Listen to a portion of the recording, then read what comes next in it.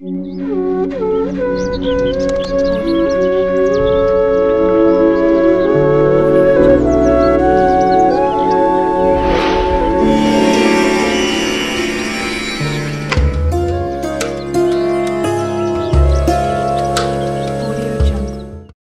తిరుపతి శ్రీ మహావిష్ణువు కలియుగ దైవంగా కొలువై భక్తులకు దర్శనమిస్తున్న పుణ్యక్షేత్రం. ఆ స్వామి దర్శనం కోసం ఎక్కడెక్కడో నుంచి ఎంతో వ్యయ ప్రయాసలు కోర్చి భక్తులు చేరుకుంటారు. అలాంటిది నిత్యం గర్భగుడిలో ఉన్న స్వామివారిని దర్శనం చేసుకుంటూ స్వామికి సేవ చేసే అదృష్టం కలవారు ఎవరు అంటే తిరుమల ప్రధాన అర్చకులు రమణ దీక్షితులు. మరి పిహెచ్డి చేసిన రమణ దీక్షితులు అర్చకుడిగా ఎలా మారారు? కొన్ని ఆసక్తికరమైన విషయాలు వీడియోలో చూద్దాం. తిరుమల తిరుపతిలో అర్చకులుగా నాలుగు కుటుంబాలకి సంబంధించిన వారు వంశ పారంపర్యంగా సేవలందిస్తారు. రమణ దీక్షితులు చిన్నప్పటి నుండి వారి తండ్రి గారి దగ్గర తాతగారి దగ్గర ఆరాధనా క్రమాలు నేర్చుకున్నారు. గృహ ఆరాధనతో ప్రారంభమై ఒక వయసు వచ్చిన తర్వాత ఆలయ అర్చనకు వెళ్తారు. ఇలా రమణ దీక్షితులు పంతొమ్మిది వందల అరవై ఏడులో వచ్చారు. ఈయన మైక్రోబయాలజీలో పిహెచ్డి చేశారు. అయితే ఎంత చదువుకున్నా ఏ రంగాన్ని ఎంచుకున్నా చివరకు చేరుకునేది దివ్యమైన జ్ఞానం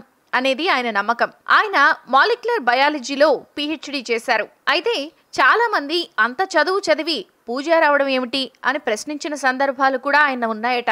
అయితే ఆయన బహుశా శ్రీనివాసుడు ఒక శాస్త్రవేత్త పూజారి కావాలని భావించాడేమో అని తరచూ అంటూ ఉంటారు. రమణ దీక్షితులు వెంకటేశ్వర స్వామినే తన గురువుగా భావిస్తారు. ఆయన అనుగ్రహంతో ఆ తర్వాత లివర్కి సంబంధించిన అంశాల మీద కూడా డాక్టరేట్ చేశారు. లివర్ రోగగ్రస్తులకు లివర్ ఫంక్షనింగ్ అనేది ఎలా మారుతుంది? దాన్ని తిరిగి మళ్ళీ నార్మల్ చేయడానికి ఏం చేయాలి? అన్న విషయాల మీద పరిశోధన చేశారు. అలాగే మనం వాడే మందుల వలన మన శరీరంపై ఎలాంటి మార్పులుంటాయి? కొత్త మందులు ఎలా పనిచేస్తాయి? అన్న విషయాల మీద ఆయన రీసెర్చ్ చేశారు. అలాగే మనకి జలుబు వచ్చినప్పుడు వాడే యాంటీ అలర్జిక్ డ్రగ్స్ వలన నిద్ర ఎలా వస్తుంది అన్న దానిపైన కూడా పరిశోధన చేశారు. మెదడుకు వీటి వలన ఎందుకు నిద్ర వస్తుంది అనే విషయంపై మాలిక్యులర్ లెవెల్లో అమెరికన్ జర్నల్స్లో ఆయన చేసిన పరిశోధనలు కూడా పబ్లిష్ అయ్యాయి. అలాగే తిరుమల దేవాలయంలో కులశేఖర పడి అనే మెట్టు దాటి అర్చకులు తప్ప మరెవ్వరూ కూడా రాకూడదు. కులశేఖర పడికి బయట ఉన్నది భౌతికమైన ప్రపంచం. అయితే కులశేఖర పడి లోపల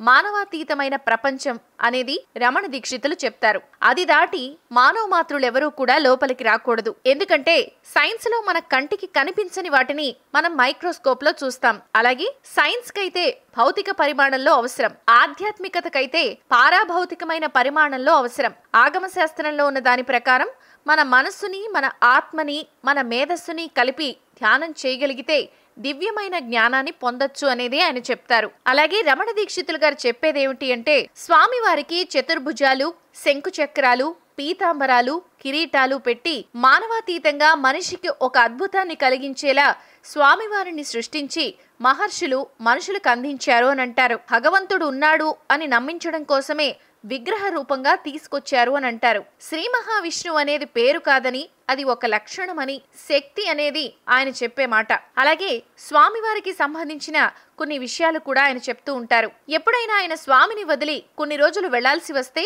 ఆ స్వామివారి అనుమతితోనే వెళతారట.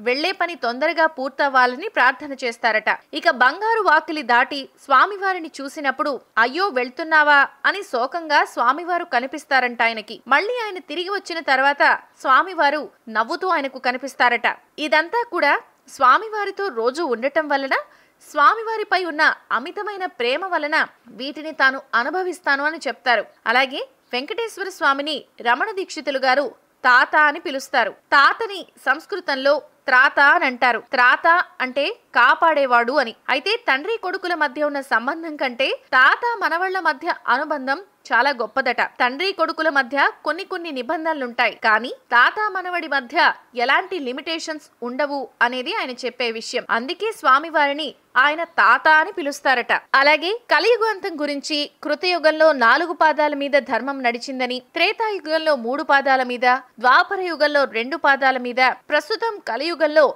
ధర్మం అనేది ఒక పాదం మీద నడుస్తుందని తెలుసు కదా? అయితే కలియుగ అంతం ప్రళయం అప్పుడు ఒక్క కాలు కూడా విరిగిపోయి ధర్మదేవత కుంటుతూ నడుస్తుందట.